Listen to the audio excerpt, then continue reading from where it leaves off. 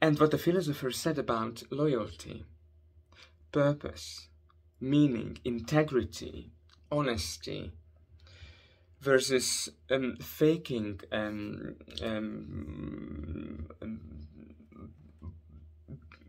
one's own self in order to belong, authenticity, and the cost of it in terms of emotional pain.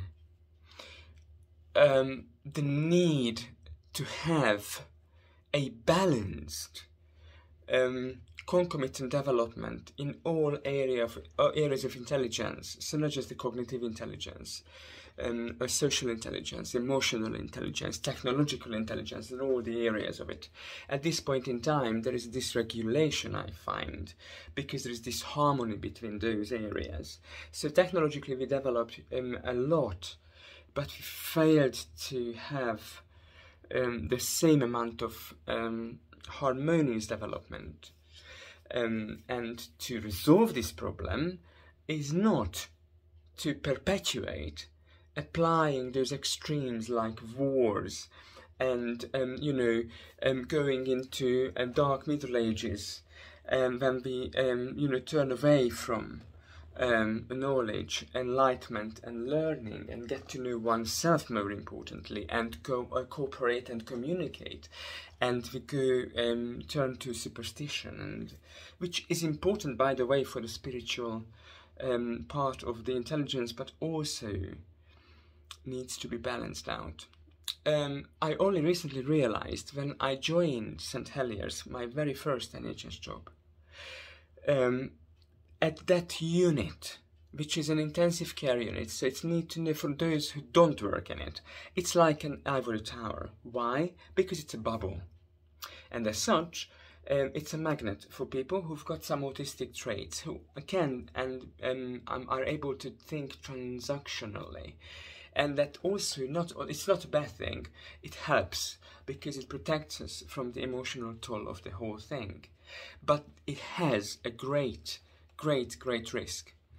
Where normally it fosters excellence. When excellence gets beyond a certain limit, it becomes perfectionism. And the big difference between excellence and perfectionism is that excellence is um, um, reflective, it buys in feedback, has a kind of um, a moral compass, has integrity, has loyalty, yet um, self care, yet communicating, interacting, connecting, whereas perfectionism is shame based.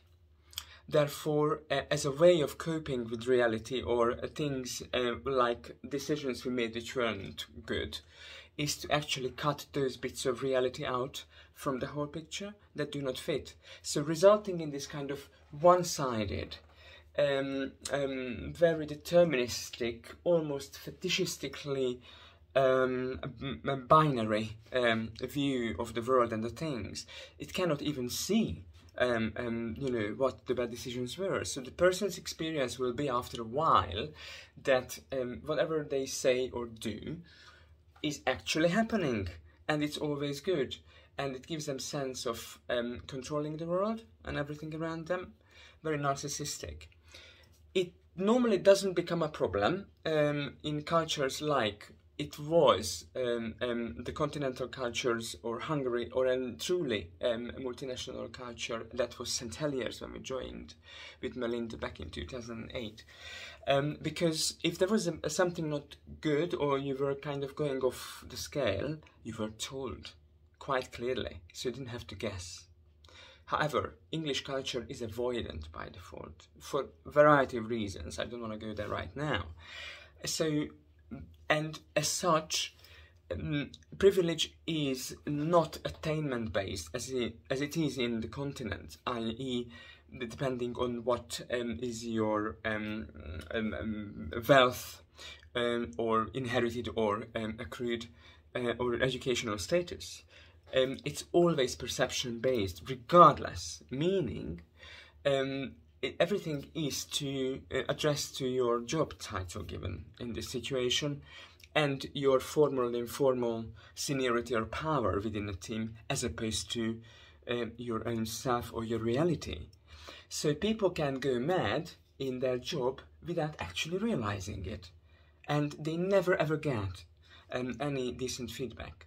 That was my um, experience, and it was very stark, and um, led me to realize that actually I was no longer um, be be I wasn't able to offer um, what was needed at the time back in 2015 when I decided to retire after 23 years from intensive care. Not because I was a bad nurse, I just was not um, um, the, the thing they needed at that time.